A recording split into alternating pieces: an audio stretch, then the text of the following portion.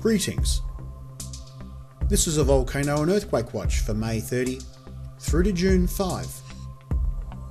We are moving into a heightened period of earthquake potential based on a significant planetary alignment and an extremely large coronal hole formation which will be rotating the Earth facing side of the disk in the coming days, all represent a potential of an 8.2 magnitude earthquake during this watch.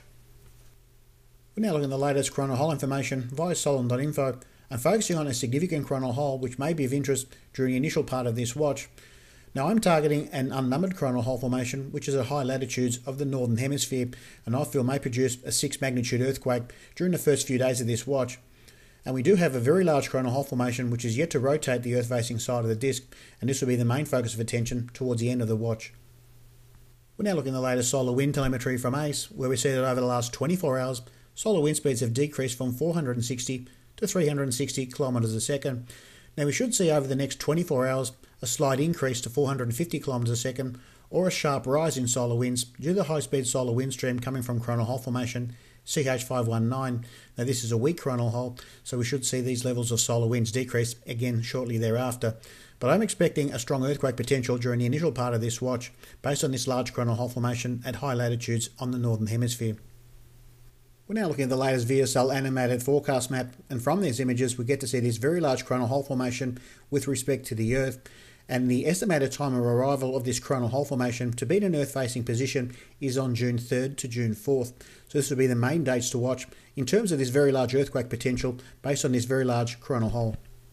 We're now looking at solar monitors 193 angstrom and focusing on the northern hemisphere where we see this long lateral coronal hole which is currently unnumbered. Now I have isolated 45 to 48 degrees north latitude as a main area of focus and I do feel that the key dates would be May 29 to May 30. Now I do feel that this is an impulsive earthquake or a shallow event that is possible, but there are sporadic holes which may indicate a swarm of earthquakes along these latitudes, but I do feel that there may be potential of a very strong earthquake, possibly 6 magnitude. Now I'm going to plot and map this coronal hole formation which is unnumbered to the Earth and my number one area of concern are for the regions of off the coast of Oregon, Puget Sound in Washington, and stretching up towards the Vancouver Islands, Canada regions. These would be the number one areas of concern based on solar symmetry as best mapped to the Earth. My second area of concern will be for the Kuril Islands. And my third area of concern will be for the East Kazakhstan region. And my final area of concern for this 6 magnitude earthquake for the initial part of this watch would be for the region of Romania.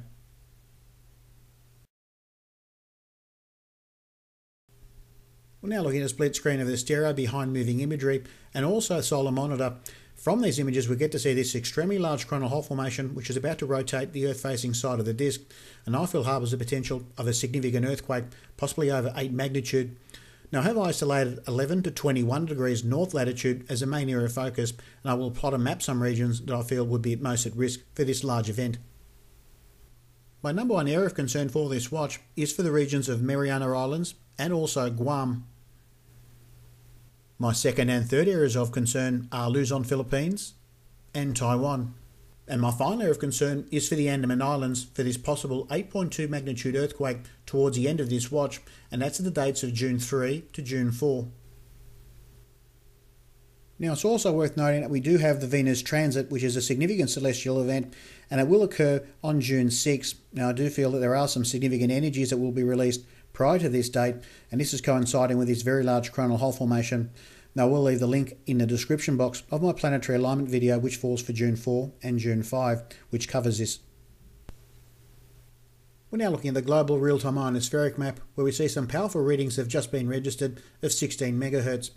Now we have been sitting on 13 and 12 megahertz over the last few days, and this is the largest reading that's been seen for a short while, which is a concern. Now this may be an indication of some strong earthquakes coming our way, so it's definitely worth keeping a close note of.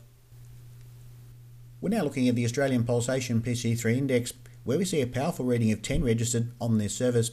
Now I'm attributing this reading to the poorly defined coronal hole formation CH519, and I feel this may be indicative of a very strong earthquake over 6.5 in magnitude over the next day or two. Now we have received some significant readings over the last 12 hours which may indicate a 6.5 magnitude earthquake for the southern hemisphere, with the most likely areas of focus being associated with the coronal hole formation CH519. Now, this may indicate a strong earthquake in the Papua Indonesia region or adjacent in the New Britain region, Papua New Guinea, over the next few days. And that's my volcano and earthquake watch for May 27, 2012. For more information, please visit my website at solarwatcher.net. We'll be providing more content for members and subscribers. Annotations will be added during and at the end of this video. Thanks for watching.